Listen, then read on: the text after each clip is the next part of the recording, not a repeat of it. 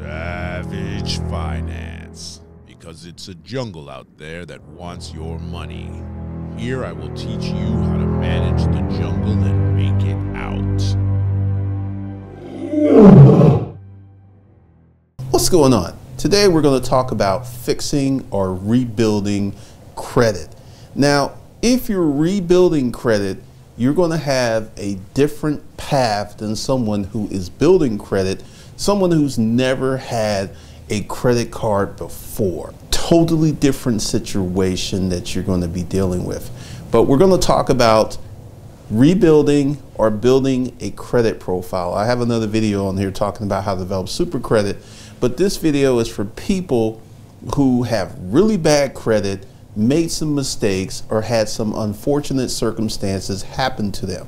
If this is your first time here, what I want you to do is go to the beginning of the channel and start watching the very first videos up to the videos today to get that economic financial literacy that you need to be successful in today's world. All right, so we're going to the track's going to deviate a little bit because there are many of the things that you're going to do that are similar but you're going to deviate if you're a person who is rebuilding credit.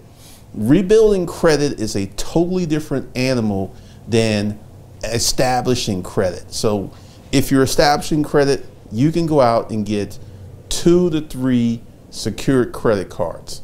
And you don't want to get these pieces of trash secured credit cards that will never graduate and graduate means that when you give, they give you a secured credit card, you give them money up to a thousand, or if you're at Navy Federal, you can get a $50,000 secured credit card. And after your good payment history and you're handling the card responsibly, they will give you your money back and then the card becomes unsecured or graduates. It is a really murky market. So there are a lot of these credit cards that will start you off with a $300 credit limit and hit you over the head with $250 in fees. Stay away from them. Go to Capital One, uh, Discover Secured Credit Card. If you have access to Navy Federal, that's going to be your best bet because Navy Federal will probably graduate the card after good use after eight months. But you want to do some research, and I'll put some links and stuff down below to help you out. But if you're rebuilding, this is all you need to do is get two to three secured credit cards, handle them responsibly. This will establish your credit profile and you'll be good to go. And that's all you have to do. And also, this is why you want to get secured credit cards if you are establishing your credit that convert. Your credit score is compromised of how old your credit profile is. So if you go out and get a bunch of these little cheap, flimsy, crazy, no good, trashy credit cards, those will be your first credit cards and you'll be stuck with them for life and they never actually secure, they never unsecure, and they actually they never graduate and you can't get big boy credit limits with these cards. So you'll just be stuck like with Chuck with these cards unless you go ahead and establish some better credit cards earlier. Just put that out there. So if you're rebuilding your credit, you got a whole different thing. Because let's say you had an unfortunate event where you were in the hospital, you were sick for a while, you couldn't work, and all of your credit became trash. Now, there is a certain way that you can challenge medical collection. I had a situation where I had to go to the hospital a long time ago and I had some medical collections there's a certain technique for getting medical collections off and also restoring your credit. This is the thing that you're going to have to do. You're going to have to challenge the derogatory information on your credit cards and also establish new credit at the same time. And this is where the secured credit cards come in. Now, secured credit cards, once again, you've got a harder path to go than someone who is establishing credit because SunTrust Bank has a secured credit card that graduates, but if you have bad credit, they will not approve you. Bank of America has a secured credit card product that graduates, but if you have bad credit, they will not approve you. So you, you're kind of like really in this bad situation because and challenge the derogatory information on your credit report. However, that's not going to raise your score. The only thing that's going to raise your score is getting new credit because let's say you have a bunch of derogs and you get the derogs off then also you kill your credit profile age because once you get let's say you have a credit card that you were good you got sick and then you pay it and then you go ahead and you challenge it and you get this credit card off your credit file not only is that derogatory credit mark gone but so is the credit age which is very important to establishing high 700 to 800 credit scores. You're not going to get into an 800 credit score I mean, the, probably the fastest you can do it is four years, maybe six, but typically you can get to a 700 credit score within a matter of months. But to get into the upper limits of credit worthiness is going to take some time. So, how does one challenge all of these derogatory items on your credit report? Well, first of all, I have a course I'll link that below to help you out, but I will kind of give you some overall guidelines. One of the things is the first thing you need to do is get physical copies of your credit report. Everyone likes to do it online. When you challenge your credit online, you give up your rights. When you do to go to online and you do a, a, a challenge or a dispute, you give away rights. So what you want to do is to order physical copies of your credit report and then begin to dispute your challenges through the mail. I know people don't like to do that, it's not as fast, but once you go onto the credit bureau and you dispute your credit derogatories online, you enter into their rules and regulations and they can do what they want, and their rules and regulations are not in your favor. The old school way, the snail mail way, is the best way to do this. And what you want to do is to challenge these items using snail mail and using return, you want to make sure that you actually have recorded your challenge to this information because right now during this pandemic it would probably be a good time to run a lot of credit challenges because a lot of people are not working. And by law once you issue your challenge and once the credit bureau receives that challenge they have to begin working on it and they have 30 days from the moment that they receive the challenge. It's not 30 days from the moment you issue the challenge because it takes a little time for the challenge to get to them in mail. But once they receive it, 30 days from the date that they receive it, they need to do an investigation. Now, here's where people run into problems. You've got to word your challenges correctly. Because if you just like, this item's wrong, if you don't put the right verbiage in there, they're going to just run what I call a garbage verification challenge. And this is how verification works. They're going to verify your address. And if the, your address comes back that's linked up to the address that the credit card issuer had on file, it's going to come back valid and verified and they're not going to, that's all they're going to do. I mean, they're never even going to contact the credit card issuer or the issuer of the credit. They're not even going to talk to those people. Doing an online dispute is not in your best interest. Uh, many, many years ago, I had a situation where my ex-wife and I had some debts together and during the divorce, she was supposed to pay them. She didn't pay them. And my credit got trashed. I mean, like 400 credit score. It was that bad. And I fixed my credit myself. I found this online forum and I turned it into a hobby. And it took me about eight months to get my credit from the 440, I believe, what it was, to a 738. About eight months. And I was working on this every day because the thing is, you have to word your challenges correctly. Because if you do not word your challenges correctly, they will be ignored and you're not going to get the results that you want. Also, as you're running your challenges, you got to be set up for setbacks and delays because each time you run your challenge, you're going to knock some stuff off and then some stuff's going to come back verified. And this is where the 609 section of the law will help you because credit card companies will avoid a lot of your challenges if they're considered frivolous. And if you challenge the item two times and they've come back verified, they're going to say it's frivolous and they're going to ignore it.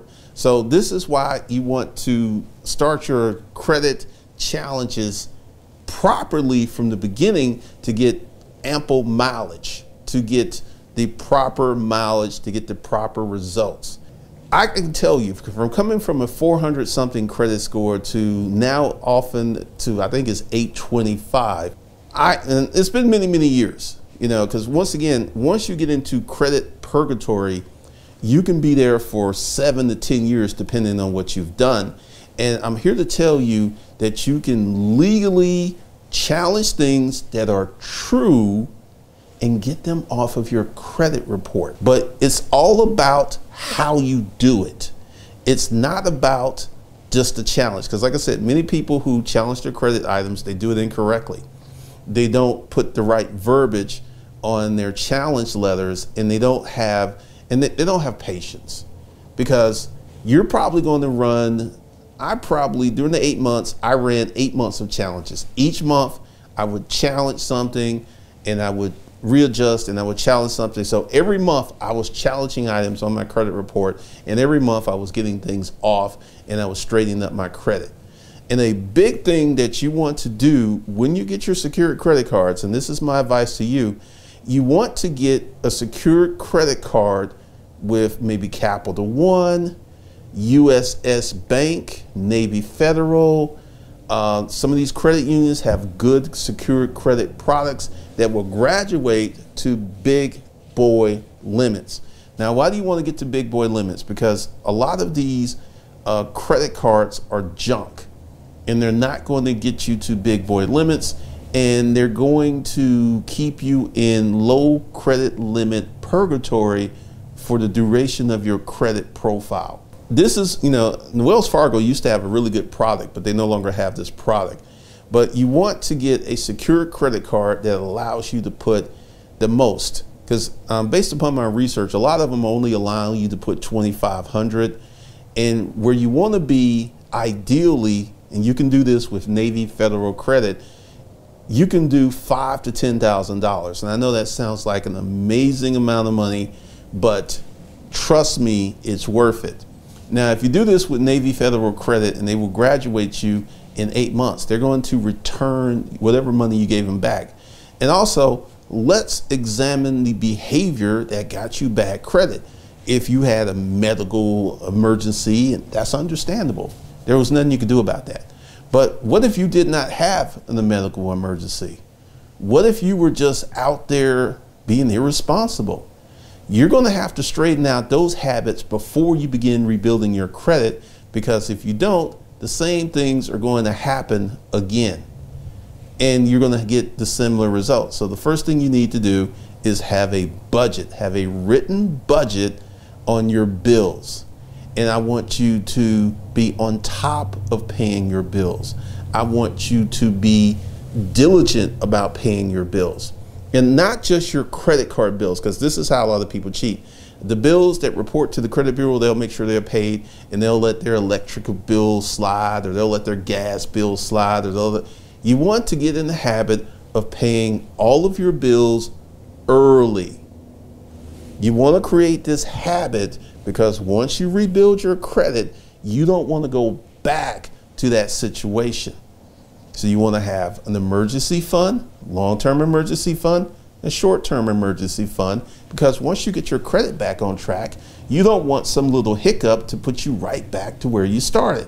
So on these emergency funds, your, your first, your long-term emergency fund should be six months to a year of living expenses, and your short-term emergency fund should be around three months. So let's say you make $50,000 a year, your emergency fund at a minimum should be $25,000 plus an additional $5,000. So you should have $30,000 put away for emergencies. This will permit, you know, God forbid you have a medical emergency where you're out for a year or so. Pretty much this is going to cover most emergencies. And also you need to look at your money management behavior. Uh, right now, I have a video on here where you need to get a real checking account. There, there are many people who don't have real checking accounts they're operating off of a debit card and you should settle and get all of your financial houses in order because later on, after you get your credit straight, after you get your your say your, your emergency funds, two emergency funds funded, you're going to want to start investing. And you get into brokerage accounts, they're going to need to get money from your checking account for you to invest. And I don't want you doing the, the, the, the debit card thing because that, that's just unbanked. And literally, if you are a United States veteran, you can get free checking from Chase. Just take your DD 214 in there and they'll open as many free checking accounts as you desire. I have business checking accounts with Chase. I have personal checking accounts with Chase. And I don't ever, now my checking accounts have money in them. So even if I was being charged, I wouldn't pay because I got enough money in there. But you want to go ahead and get your financial life together where you're operating with a real checking account and you need to clean up any bad behavior. Now, also, to my dudes who are on who are in the arrears on child support that's going to be a monster to deal with because once it reaches your credit report, it is not going to come off your credit report until you pay the arrears. That is probably, in my opinion, one of the worst things you can have on your credit report is being late on child support. And even during this pandemic, your stimulus check, if you were behind on child support, you didn't get your stimulus check. And they will go for unemployment. So if you find yourself in that situation, I got a few tips for you.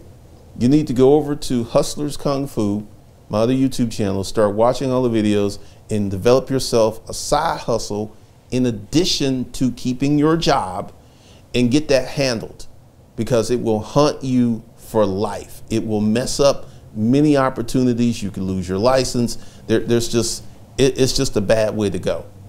So what you want to do is to go ahead and get your stuff together. And this is pretty much the, the process. It's not rocket science hard, but you have to be consistent, you have to be diligent, and you have to do it in sequence.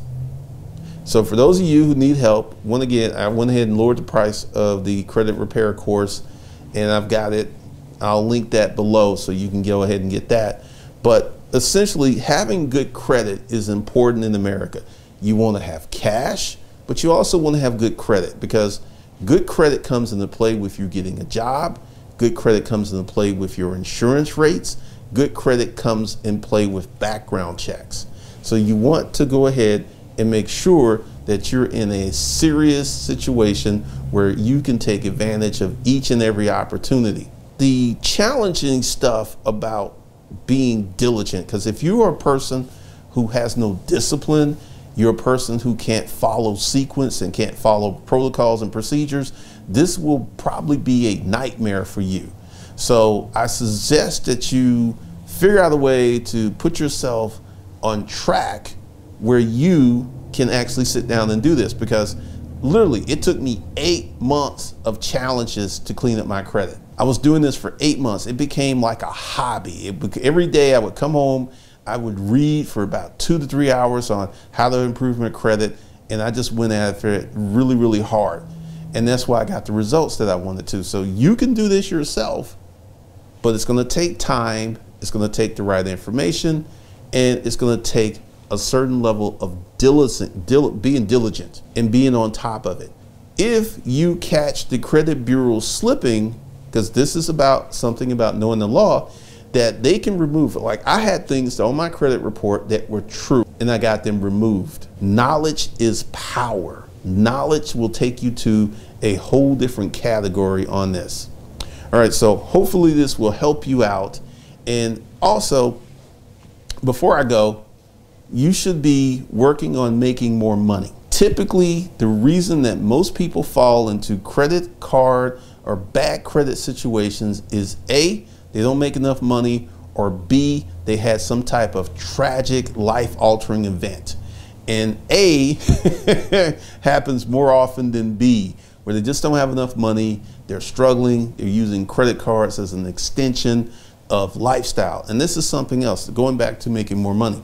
You should not be using your credit as an extension of lifestyle.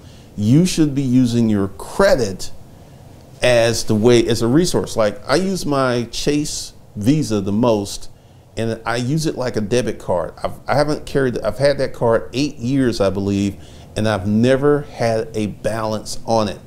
I'll use it.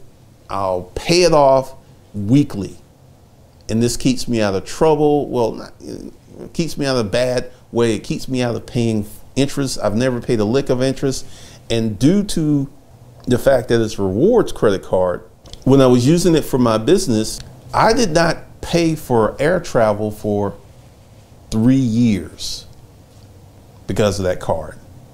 And I'm getting ready to start using it heavily again in my business. And I'm gonna, you know, once we start traveling again, once the pandemic's over, I'm gonna have those same benefits again.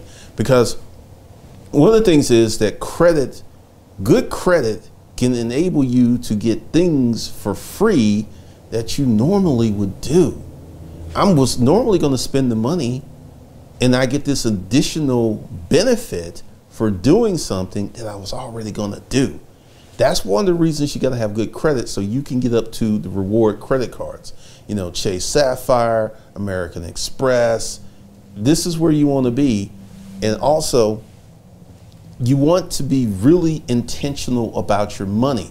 This is another way that people get in trouble with credit because they're sloppy and they don't manage their finances and it's just a train wreck. And also, stating this, if you have delinquent student loans, they're getting harder and harder to get off your credit report. I will tell you some of the stuff I got off my credit report. I got a repossession off my credit report. I got student loans off my credit report. I got a tax lien off of my credit report. It's just a matter of being diligent and having the right information. So hopefully this helps you. Hopefully this puts you on the right track. And the links to everything that I talked about will be under the video. So with that, I'll see you guys in this next video that should be right here.